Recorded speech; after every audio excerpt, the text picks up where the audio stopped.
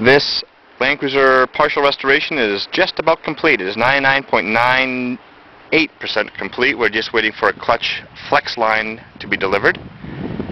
Uh, and that brings it to a conclusion. We'll be driving it, reseating the brakes. Uh, we have some new brake drums in the front that we've placed in, stainless steel lines, etc., etc.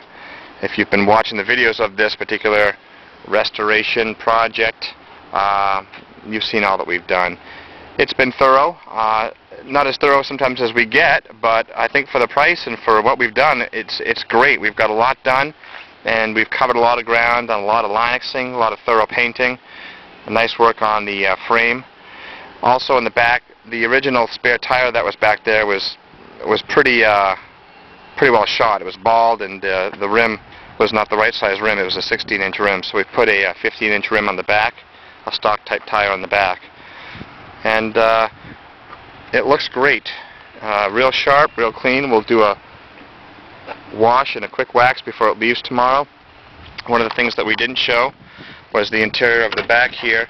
Uh, we have the jump seats in the back, but one thing that we did was put in these little speakers in the back. These are Tuffy boxes, and uh, they're they're metal type speakers with a six by eight, excuse me, six by nine speaker in the back. Kind of hits in the hides in there incognito gives a little bit of music. The customer had requested that we uh, install a, a, stock radio, and in fact we've done that. So um, you can see that it uh, looks great.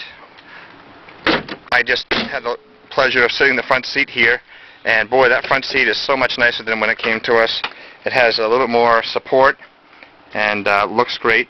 The other thing that I tried to shoot video of the other day but was not really successful was the radio, and there's the stock radio. Um, that is a factory stock radio that's in there. And uh, it, it oh, there it is. Has a little green ST, meaning stereo, AM and FM, and the push buttons. It's classic radio. For a classic truck, this truck is just really a classic Land Cruiser as far as its colors, style. It's just a pleasure to have, and we've it's been a pleasure to work on it. So we're anxious for it to go back out to the island and uh, drive around and have good times. And it runs like a top and uh, looks good to boot. So enjoy it, and uh, we'll talk to you soon.